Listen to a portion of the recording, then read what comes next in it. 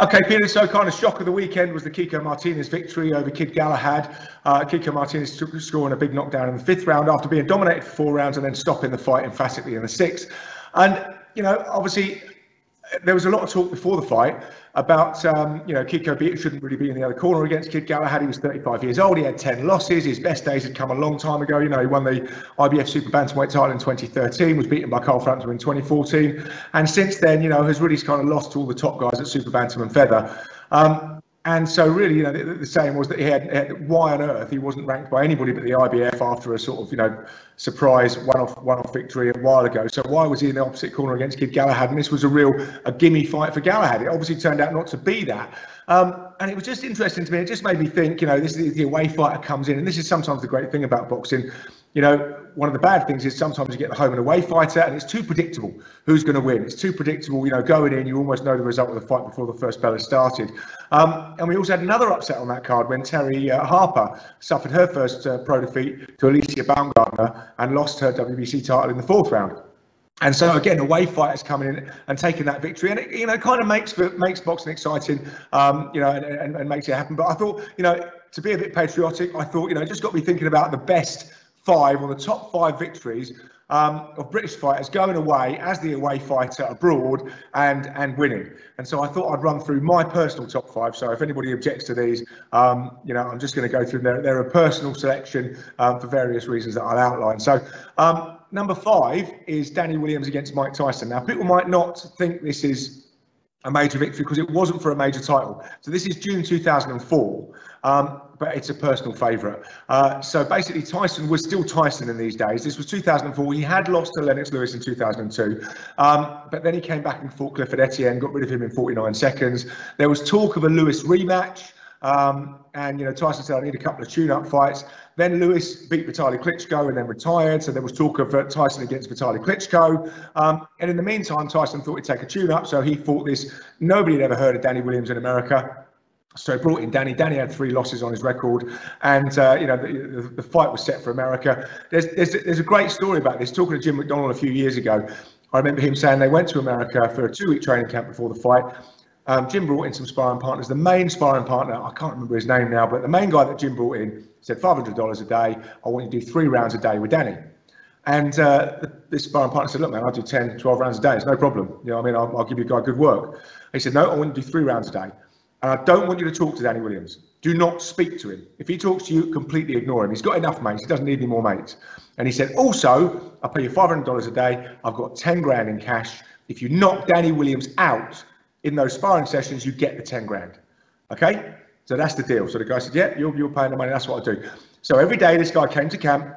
Danny would say, talk to him, say hello. He would just sneer at him, not not say, not do anything. And then the sparring started, and he would go hell for leather at Danny, swinging everything, trying to knock him out. You know, and after three rounds, Jim would say, "Right, how'd you get?" And Danny would say, "No, no, no, no, let's let's do a few more." You know, and Jim would say, "No, that's it, off you go." Danny came to Jim and said, "I want this guy out of the camp. He's ignorant, he's stupid, he comes in every day trying to knock my head off. I want rid of him." And Jim said, "No, no, it's good sparring, Danny. Let's do it. Let's just let's keep with him." Anyway, they did keep with him. Of course, what happens when the fight comes? Tyson will not speak to Danny. He's surly, you know, he sneers at him. And of course, he comes running at him for three rounds. And, um, you know, it looked like Danny was going to go in the first round. He, he was staggered twice, had to hold. Um, in the second round, uh, you know, pretty much the same. Although Danny did manage to get in some blows of his own.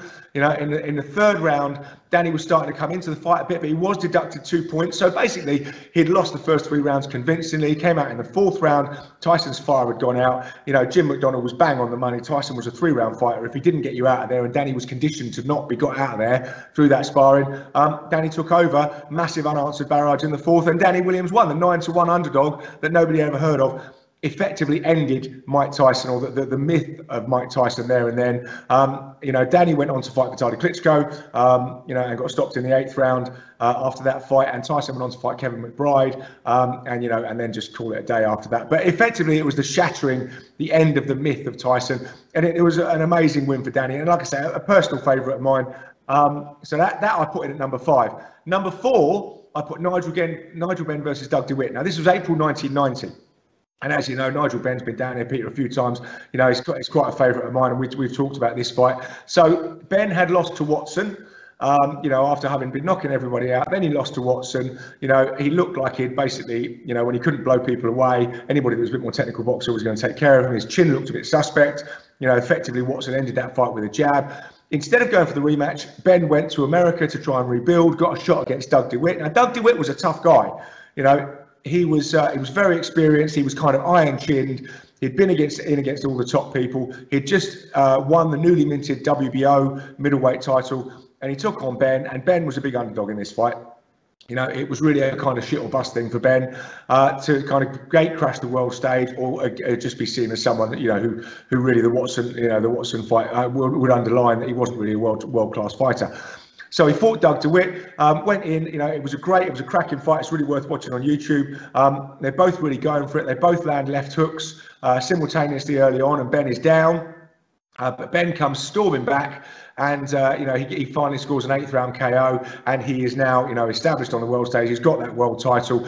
Um, uh, De- DeWitt only went on to fight one more time. Benn went on to uh, beat up Iran Barkley in the next fight, which really you know established himself. Then he came over to take care of one little bit of unfinished business uh, with Chris Eubank, and we know what happened there. So uh, you know I mean, but but this was the real establishment of Nigel Benn on the world stage. It was a big risk to go to fight an established guy like Doug DeWitt, and it, and it came off for him. So in my list, John H. Stracey against Jose Napoles. Now, this is the this is the only one on here that is kind of a bit before my time. This was this was December 1975. Um, but a big fan of John H. You know, it's well worth watching the fight. So John H. went to Mexico City to fight an established champion in Jose Napoles. Jose Napoles has been reigning on and off for about six years. Um, it was in a bull ring in Mexico City in stifling heat. So, you know, the, the, the, boy from Bethnal Green wasn't really expected to last the course, one, with such a quality operator, and two, you know, in that stifling heat in the afternoon heat in that bull ring. The atmosphere was supposed to be amazing. 40,000 fanatical Jose Napoles fans in Mexico City screaming for Stracey's blood. I'm told reliably there were 23 Londoners that made it um, against those 40,000. Um, and you know, first off, it looked like it was going to go kind of to, to, to, the way it was supposed to go. Um, you know, he was down in the first round, John H. Um, but he managed to fight his way back into the fight. Know, made it quite a brutal, quite a physical fight. At the end of the sixth round, Napoles' eye was closing, went back to his stall and didn't come out for the seventh. And John H. Stracey was world champion. Again, a big risk for him to go abroad. You know, he was European champion at that point but had a few losses on his record. Big risk to go there and take that chance, and it came off, and he became WBC, um, you know, world world champion. Um, number two, more recent times, November 2015, Tyson Fury against Wladimir Klitschko. Um, you know, this was an amazing victory, and it's kind of somewhat overshadowed by Tyson's descent afterwards, and then his amazing return. But you know, if we look back to 2015 when he really first established himself on the world stage. Wladimir Klitschko had had a 10-year reign um, you know, really since uh, since beating Chris Byrd in 2006, uh, early 2006, to, to, to, win his first world heavyweight title. You know, had cleaned out the division multiple times, really.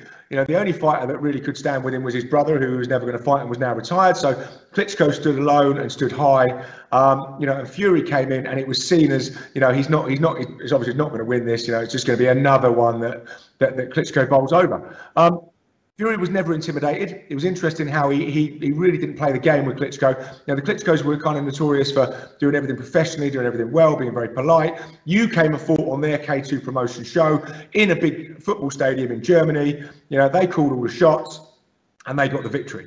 Um, and, and and Tyson didn't really want to play along with that. You know, he wasn't playing second fiddle. He, he I think he did kind of get in Wladimir's head a little bit um, before the fight, and even right up to the fight. You know, on the day of the fight, um, Fury was like, no, I'm not happy with the gloves. I'm not. I'm not fighting if we're fighting those gloves. I want, different gloves. Um, then there was a load of you know uh, shenanigans about the underlay. Uh, foam under the ring. Again, they were like, no, we're not coming out unless you remove two inches of that foam under the ring because that they thought was designed to slow Tyson down because their they thought their advantage was speed of foot. Uh, with Tyson, as it proved to be. So the underlay under the ring was removed. Finally, all their demands were met. He came out and was absolutely inspired. I mean, you know, Tyson Fury beat Wladimir Klitschko that night with feints. It was amazing. The head movement was incredible. And, and Wladimir just couldn't get that jab going, couldn't get it connecting, which meant for Wladimir, he couldn't fire his right hand. And so, um, you know, Tyson, although, you know, a lot, a lot, of the fight was feints and slips and, and, movement, Tyson's movement was incredible. You know, he was switching and he just seemed to bamboozle Klitschko. Um, you know, and cruised his way to, to a unanimous decision victory. Um, and then, you know, we know the Tyson story for, for, from there, you know, and, and, and, incredible as it is and still going. But uh, that, was a really amazing night, you know, and an incredible thing to go to an established champion's backyard and beat him convincingly, you know, um, in that backyard. But number one for me uh, through this list, and this is one I do remember, September 1986, Lloyd Honeyghan against Donald Curry. Now, this Donald Curry at this time was you know, almost unsurpassed. Talked about being the pound pound number one. He was world welterweight champion, unified world welterweight champion. In those days, that meant WBC, WBA, and IBF. And he had won that at a canter. You know, he had beaten guys, stopped guys like Milton McCrory, um, Marlon Starling. You know, he had absolutely wiped the floor with these guys, but it looked like he wasn't even hardly trying. There was talk about Donald Curry moving up in weight from welterweight to middleweight and fighting Marvin Hagler, you know, to give him a challenge because it seemed like, you know, so you know, so obviously there were some rumours that he was struggling at the welterweight limit. Um, but anyway, in the meantime, he was going to fight a mandatory challenger in Lloyd Honeyghan. Uh, so Lloyd Honeyghan was a massive underdog, came over with Mickey Duff, given absolutely no chance. But again, a bit like Tyson, just had this incredible confidence. And, you know, all the time we're talking about, no, I'm going to win, I'm going to win. Everybody wrote him off. The press wrote him off. You know, all the bookies wrote him off. All the Vegas people wrote him off. And you've got to also remember back in this time, uh, British and European fighters going up against top American fighters. The result was, you know, 99 times out of 100, the top American fighter won. You know, the styles were different, and um, you know, it was seen as more stand-up straight, you know, sort of jab jab style for, from the British and European fighters, and the Americans were more swarming, hooking fighters. So, you know, this was seen as you know something that was only going to go one way. Um, but Lloyd had different ideas. He put a load of money on on himself uh, before the fight. And uh, you know, I think he got eight to one with the Vegas bookies and almost put his entire purse on it. And he went for Curry from the opening round. Absolutely went for him, roughed him up, you know, ragged him around, pulled him about, you know, just just kept hitting him. He, almost didn't let him in the fight, and it kind of just went one way until uh, at the end of the sixth round, uh, you know, Curry retired on his stool, um, you know, having just been absolutely beaten up for six rounds, and it was incredible. I always remember Mickey Duff jumping in the ring, rolling around on the floor um, with Lloyd Honeyghan, and the weird thing is, I can remember watching that. I was uh, I was just turned 16 at the time, and I heard the result on the news in the morning that uh, Lloyd Honeyghan had won. And I honestly thought to myself, this can't be right. And in those days, obviously, we didn't have all the pay per view, we didn't have anything else. And I had to watch it on BBC Grandstand later in the afternoon. So I'm watching a fight that I know the result of. It's the only way to watch it. And I literally was thinking, they must have got this wrong on the news. This can't unfold in this way. Such was the sort of magnitude of Curry. And so I watched that fight unfold, almost not believing that the result was going to be as as I'd been told until I actually saw it with my own eyes.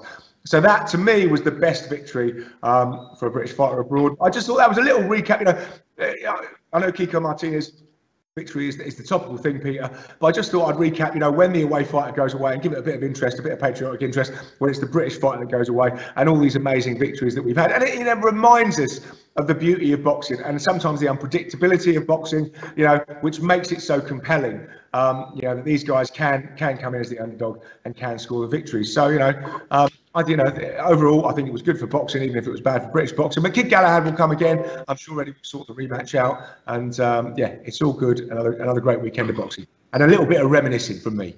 Cheers, Peter.